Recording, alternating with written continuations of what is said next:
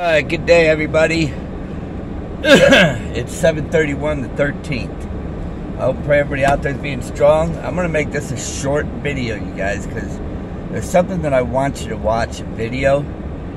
Somebody sent it to me uh, early this morning, and uh, it's very like precise, you know, and what they're doing.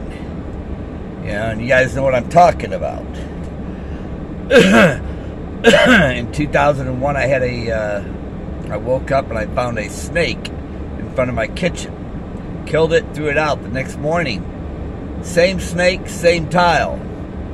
Okay, this is when the Twin Towers went down. Bush read Psalms 23, Obama read 46. It's about the DNA. Okay? I don't know how to explain it any better than this.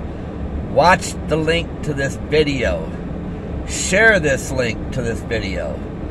The numbers. I even had a dream saying nine miles from hell. And they said most people that were put on a died within nine days. Okay?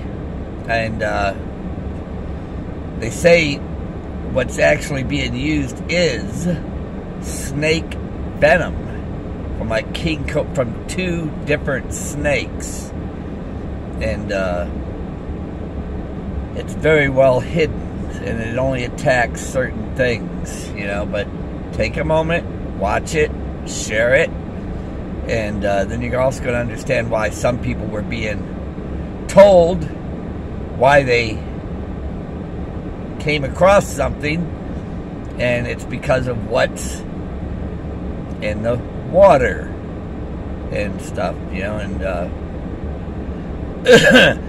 there's all kinds of things, guys. Take a moment, watch the video, share the link.